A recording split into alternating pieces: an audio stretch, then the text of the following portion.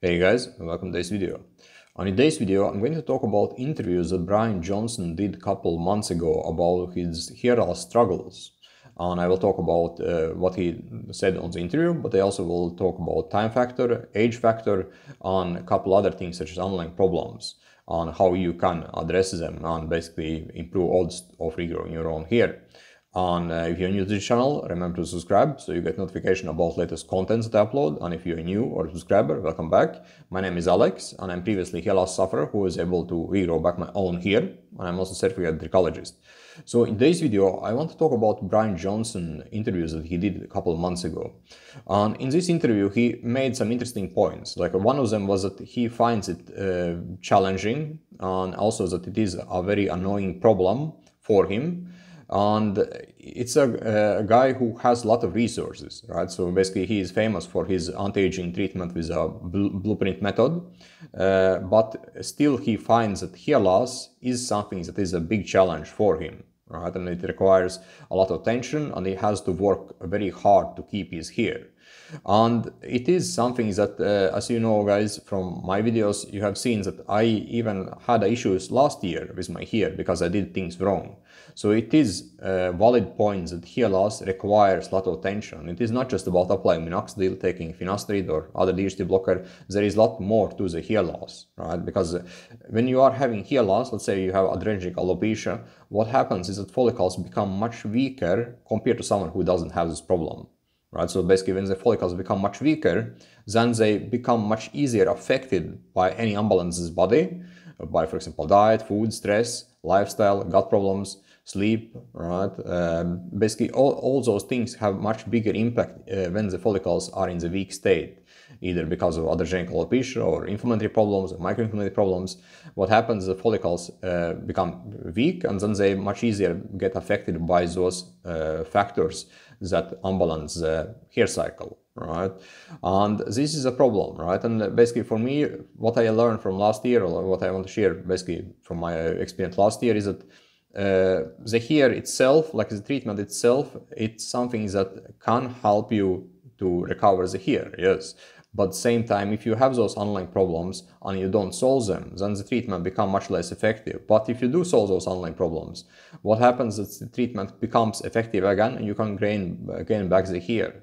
Like, for example, if you compare to last year when I had those issues myself, for example, with the hair loss, uh, what happened is that I was able to recover to this stage here, right? And I didn't change my treatment. I just addressed the underlying problems that is causing the issue.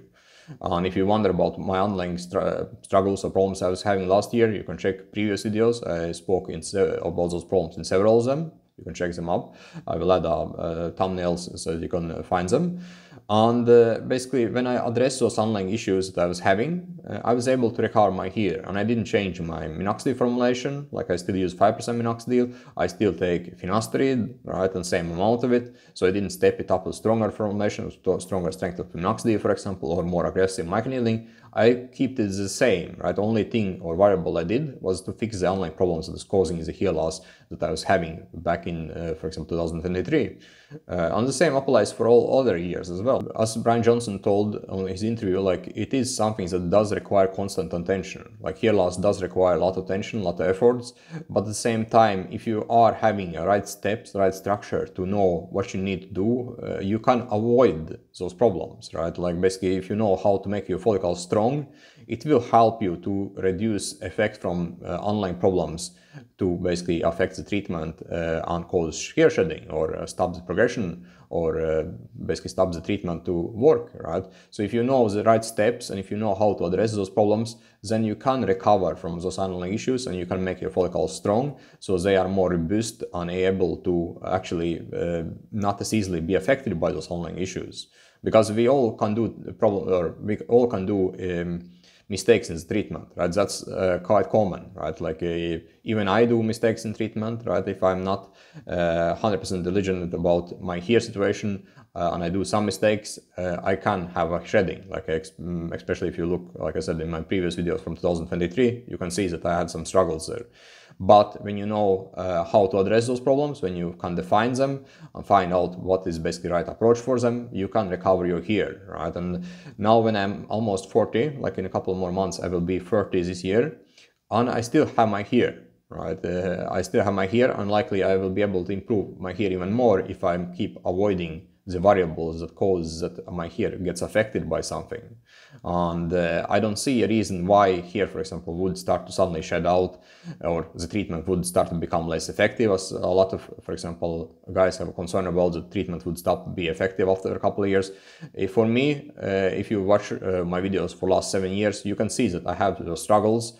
I have those downs from time to time because I do mistakes, but I'm able always to recover from those mistakes uh, and keep treatment effective, right? So, so basically point here is that uh, keep your hair cycle strong, make sure that you are not DHT sensitive, not just block DHT, but actually uh, work on your lifestyle, your diet, gut health, making sure that you are as little DHT sensitive as possible, making sure that your scalp is healthy, uh, making sure that your gut is functioning well, and you are avoiding trigger foods, for example, or limit them, um, and also making sure basically that you are approaching your lifestyle in terms of keeping it healthy in general. Uh, those things will help you basically to, to, keep treatment effective. And also, as time goes by, your follicles will get stronger as well, right? And when your follicles get stronger, then they will less likely be affected by, for example, online problems.